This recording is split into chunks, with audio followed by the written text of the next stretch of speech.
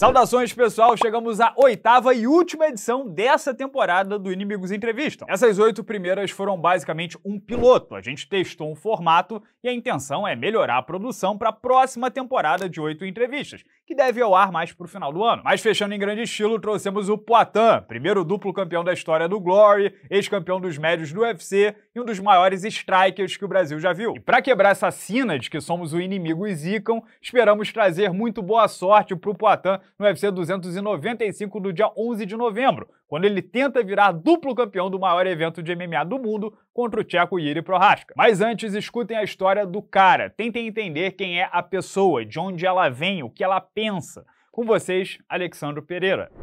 O homem, né, a gente historicamente vem do campo, e a mão de obra sempre foi a nossa própria família. As famílias tinham, em média, 7, 8, 9, 10 filhos, né? E essa lógica inverteu recentemente com industrialização, urbanização. Hoje, no Brasil, o Estatuto da Criança e Adolescente proíbe trabalho laboral de menor de 16 anos. Você começou a trabalhar com 12 anos na borracharia Vila Nova. O que seria de você numa situação de risco sem essa primeira ocupação? É, bom, an antes disso, né, eu já sempre me virei, né, mesmo trabalhando com meu pai, servindo de pedreiro, é, pô, engraxei sapato, vendi rosa em restaurante, isso, pô, antes dos 12 anos, né? E depois, assim, um trabalho é, firme mesmo foi esse trabalho na borracharia. Comecei com 12 anos de idade. E se não fosse trabalho, cara, eu acho que eu nem estaria aqui, nem sei. O, que, que esse trabalho foi tão importante para você? Te manter ocupado, desenvolver seu físico, é, receber ordem, hierarquia, trabalhar para alguém? É, a dificuldade da, de aguentar longas jornadas e fazer força muito novo. O quão importante foi esse trabalho para você? É, foi muito importante, né? Porque eu sempre andei assim com pessoas boas, né? É, eu já falei para algumas pessoas, né? Pô, eu era muito apegado assim, um irmão meu, né? Que morreu. A gente tinha um ano e sete meses de diferença. Ele era, ele era mais velho do que eu. E, pô, a gente era é que nem meus dois filhos, cara. Pô, é, briga para caramba, tá em todo lugar, os dois estão sempre juntos.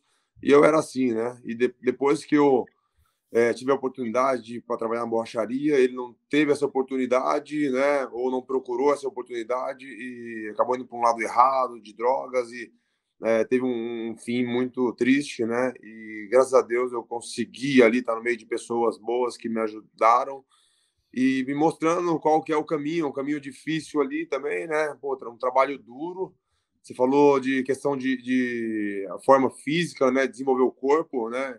Com certeza, mas ao mesmo tempo também é, maltratando um pouco o corpo, né? E igual você falou que é proibido, né? A criança dessa idade tá trabalhando. Mas, cara, eu, assim, uma opinião minha, eu sou mais tá trabalhando ali, é, porra, lascando o corpo todo ali, né? Mas ser uma pessoa do bem, né, e conquistando as coisas ali, mesmo no sacrifício. Eu ia te perguntar, Alex, nessa, ainda nessa linha, você é um cara que foge de basicamente todas as regras, né? É praticamente uma exceção. Você começou a treinar tarde, depois dos 20 anos, enfrentou e venceu um problema seríssimo, que é o alcoolismo. Teve uma carreira muito vitoriosa no kickboxing e quando resolveu migrar para MMA, rapidamente, em um ano, foi campeão do maior evento do mundo. O quanto toda a sua história de vida te construiu mentalmente até para ser predestinado a esse ponto? O que, que te faz ser tão diferente, sendo que você não foi pelo caminho que a gente está acostumado, né? Que muitos com, começam no esporte e ainda assim você já se tornou um dos grandes da história. O que, que te faz ser diferente? Ah, eu acho que a minha dedicação, né, cara, o interesse que eu tenho, né, pela luta, é, não só pela luta, né, assim como eu era na borracharia, pô, é, a gente estava lá é, agora fazendo essa matéria, né, com né, e Bom, sei se você soltou a matéria já, não, né? Não, não ainda não. Ah, estraguei a surpresa aqui, então. Pô, mas aí. Não, pô, o Coutinho tem preguiça ali... de trabalhar. É só um vídeo eu, por mês. Pô, eu queria ser o melhor ali, cara, no que eu faço, entendeu? Eu gostava de fazer isso. Às vezes, quando eu vou lá ainda, vou, tiro uma onda ali, monto um pneu, faço umas paradas. Eu, eu gosto de, de, de fazer isso, entendeu? Então, o primeiro passo tem que se dedicar, gostar do que faz, né? É, não só pela grana, ah, pô, mas agora o cara tá ganhando dinheiro e tal, mas, pô, é agora eu tô ganhando dinheiro, mas, pô, um tempo atrás eu não tava ganhando dinheiro, cara, mas eu fazia da mesma forma, entendeu? Com a mesma dedicação. Então você tem que ter uma dedicação ali, acreditar e gostar do que você faz. Mas teve algum momento específico que você percebeu que você era um pouco diferente dos demais ali, que você falou, isso aqui pode me levar para lugares que de repente eu jamais imaginei chegar? Cara, eu acreditei assim, demorei para acreditar, né? Então, assim, eu fiquei os primeiros cinco anos ali meio que sem acreditar. Eu tava treinando, né? Você vê, eu comecei no esporte, né, para sair da bebida e depois de quatro anos eu consegui. Então, um pouco depois aí que eu saí da bebida, eu, eu comecei a acreditar. Mas eu não acreditava. Tinha, tinha pessoas que acreditavam por mim e, pô, me apegava a isso, né? E as pessoas tinham interesse em estar ali do meu lado para estar tá me ensinando, para estar tá me orientando, me motivando.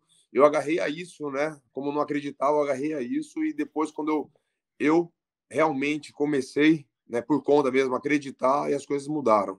Né? Então isso depois de cinco anos no meio da arte marcial. Potan, ainda um pouco sobre isso, né? Teu início tarde no, no mundo do esporte. Qual conselho que você daria para quem acha que já é tarde para correr atrás de algum sonho? É claro que você, quando deu o seu primeiro soco, você já não tinha, você ainda não tinha na cabeça que, pô, ninguém dá o primeiro soco na academia já projetando ser campeão mundial. Como você falou, às vezes a pessoa procura o esporte porque é uma forma de lidar com outros demônios que estão dentro dela, outras atividades que precisam ser ofuscadas. Mas eu queria saber de você, que tipo de conselho você daria para quem é, é, acha que é, já é tarde para correr atrás dos sonhos? É, cara, eu acho que tem que se dedicar, igual venho falando, né? Acreditar. É... Pô, é difícil falar, cara, é difícil falar, porque algumas pessoas falam assim, pô, você nasceu com dom, né? Então outras pessoas falam, pô, eu não tenho dom para isso. Mas eu acho que eu não nasci, eu acho que eu não nasci com dom, porque eu vejo assim minha, logo quando eu iniciei, né, na, na luta, Pô, eu olhava assim, um vídeo, alguma coisa assim, eu falava assim, pô, não leva jeito, velho. Totalmente diferente depois de um, um, dois anos ali. E falava, pô, cara, então, mas assim, você tem que se dedicar ao máximo, né? Acreditar. É... Eu acho que também não, não forçar muito, cara, porque senão você acaba se frustrando, né? Então, eu vejo esse lado aí desses cinco anos que eu não forcei, pô, tem que ser campeão mundial, tem que pô, fazer isso e aquilo.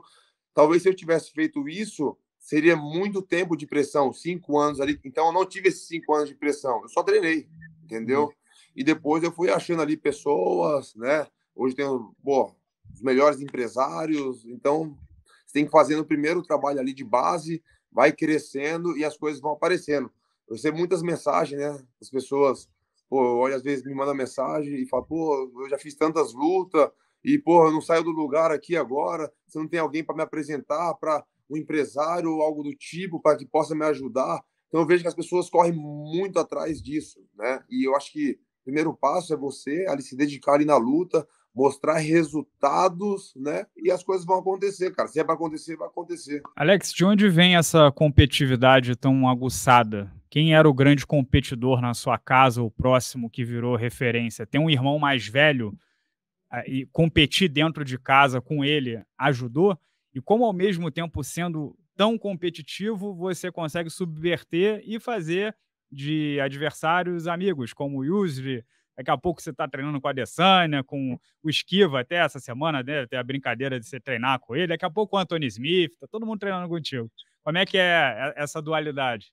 Ah, cara, em casa, assim, acho que não, não teve, né? A não ser eu esse meu irmão que eu falei para vocês. É, pô, a gente, sem mentira alguma, a gente brigava, saía na porrada, mas é porrada mesmo, todos os dias. Acho que não tinha um dia que a gente não saía na porrada. Tipo, meu pai estava trabalhando, meu pai sempre trabalhando ali pelo bairro, né? Era muito, conhecido, fazendo as obras ali. Então, tipo, às vezes umas três, quatro ruas. Né? Meu pai ia de bicicleta trabalhar. E eu lembro que a gente estava na rua e a gente, pô, tava brigando mesmo, assim, pô, ninguém, ninguém conseguia separar, te juro. Era uma parada, eu não estou exagerando. Se um dia eu conseguir falar com a minha mãe, ela Ele vai. era falar... grande também? Era do meu tamanho, assim, na época. Eram muito pouco, assim, diferença. Depois dos, dos 18 anos, ainda eu cresci um pouco ainda. Acho que eu cresci 10 centímetros, né? Mas ali, no, na cidade, pô, 12, né? 11, 10, uns, do, uns 12 anos até ali. Pô, a gente era geralmente do mesmo tamanho. Mas, assim, era briga todos os dias. E aí, as, quando a gente tava brigando, às vezes por causa de brincadeira ali, e a gente começava brigar e as pessoas olhavam e falavam, pô, não vou nem, não vou nem separar, porque não dava, porque senão sobraram dessas pessoas ainda.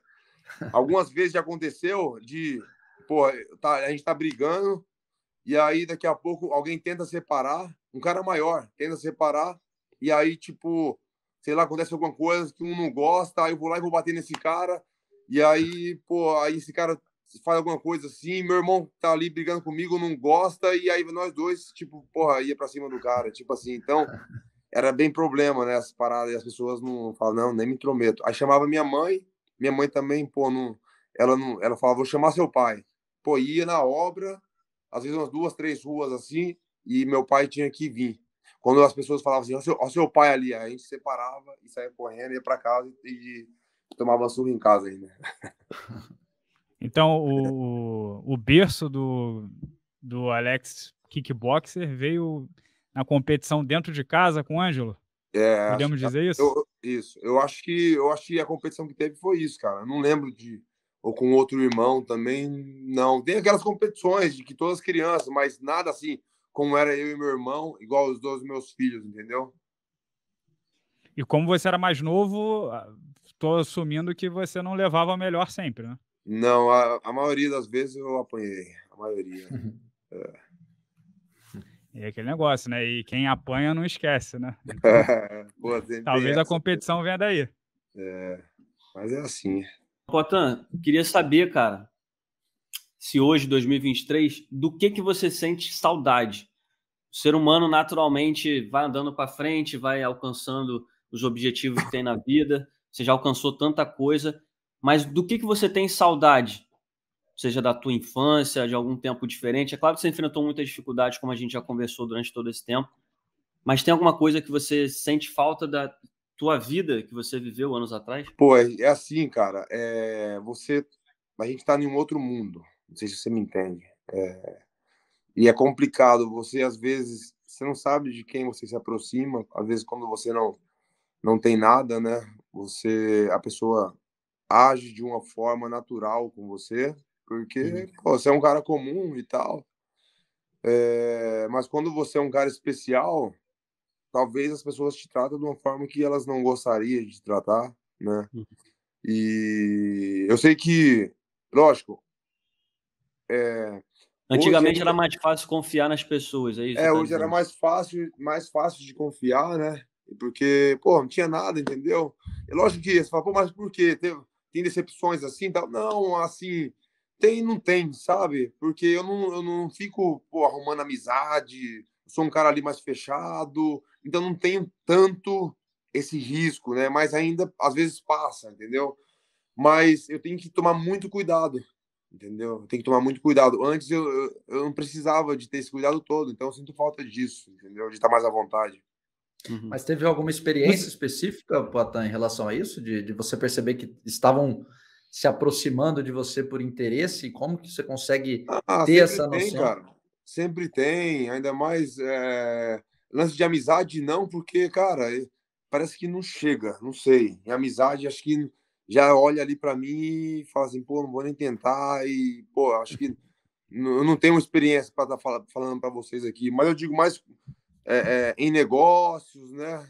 É, pô, as pessoas oferecem alguma coisa e, pô, já pensando lá na frente, é, mais, é mais ou menos isso. E amizade eu não, não deixo chegar muito, muito assim, muito perto não, entendeu? Eu tenho os meus amigos ali, entendeu? Lógico, não sou um cara mente fechada que, pô, tem muitas pessoas boas aí que a gente tem que estar tá perto, entendeu? E se eu sou um cara fechado, eu não tenho essa oportunidade, eu, eu posso perder muito com isso. Eu não digo em questão financeira, não, eu digo em questão de você é, ter pessoas boas para te aconselhar ou te falar algo ali que vai te ajudar, entendeu? Então eu não me fecho totalmente para para esse tipo de coisa. Você se incomoda em ser muito elogiado? Um Alguém pouco. que uma pessoa um ah. pouco. É, porque. Eu, também, é, eu, eu, também sou assim, cara. Eu tenho problema com muito elogio, com é. elogio. É, algumas coisas assim, tipo. Pô, não lembro que luta que foi que eu tinha. Eu ganhei o cinturão, acho que foi no Glory, e aí o cara depois pediu pra tirar uma foto, né? Eu tava com. Tipo, meio distraído assim, aqui, tirando foto com todo mundo, e o cara tava atrás, pô, pra tirar uma foto. Aí aí falou, tirar uma foto com você, aí eu olhei, era o cara, né, o adversário, né, perdeu. Aí eu peguei, tirei o cinturão tal, e para tirar uma foto com o cara, entendeu? E aí, pô, mas por que, que você fez isso? Falei, pô, velho, o cara ali, pô, acabou de perder e tava, porra, mas, pô, esse é seu momento e tal. Então, algumas coisas assim eu fico um pouco incomodado, entendeu? É... Às vezes eu fico um pouco incomodado, tem coisas. Tem nome isso. Exi existe uma coisa chamada síndrome do impostor, né? Que eu, eu tenho muito isso. Que é quando você não se sente muito adequado em, em certas situações e você acha que até quando a pessoa está te elogiando, a pessoa está sendo falsa com você. É. Né? Porque você acha que você não merece ou você não é. é. Eu, eu, eu quando eu comprei meu apartamento, né? Tava, morava no Brasil e, pô, ali, porra, juntando a grana ali e tal. E aí eu comprei esse apartamento, né? Pô, meu primeiro imóvel, né? E, e eu tinha comprado à vista. Aí, eu tava conversando com alguém assim e e eu falei, pô, agora eu, eu pô, tenho que fazer tal coisa, que agora eu comprei meu apartamento e tal. Pessoas de negócio, assim. Aí o cara falou, pô, legal, velho. Pô, que legal, pô. É importante que você comprou agora, agora é só pagar, né? Aí eu falei, aí eu falei, ah, é, tal, de boa, mas tinha pagado. Aí, tipo, eu, eu conversei é, sobre isso com, outra pessoa, falou, não, pô, você, pô, é, um, é uma conquista sua, cara, que você trabalhou e, pô, você tinha que ter falado, pô, não, pô, paguei, já paguei, não, preciso pagar a prestação. Tipo, tem que se orgulhar, né? Mas eu fico meio um pouco incomodado com isso. Entende? É, e tem aquele negócio também que o, o, o, sucesso, né? O topo ele é muito solitário, né? Porque quantas pessoas no, no, mundo conseguem os feitos que você conseguiu, ou conseguem a grana que você conseguiu, ainda mais saindo é, é, de, um, de, uma realidade de risco, né? Então é, acaba sendo muito solitário porque você está numa posição que é única, né? E é. não tem muita gente que vivenciou esse tipo de coisa. É, é, e aí, como é que, por exemplo, você volta lá para a periferia, para o seu bairro e tal, as pessoas ainda estão mais ou menos na mesma situação e, e você é eles, né? Você quer pertencer a eles e, e é difícil, porque você está numa vida diferente. Não, sim, com certeza. É, eu tenho, tenho, pô, tem que saber lidar com, com essa situação, né? Mas e ao mesmo tempo se orgulhar, né? Onde eu cheguei, né? Porque esse dia mesmo, cara, claro. eu tava, tava fazendo, tava fazendo as contas aqui e pô, trabalhei, sei lá, 14 anos na borracharia, desde, pô, 14 anos, eu acho.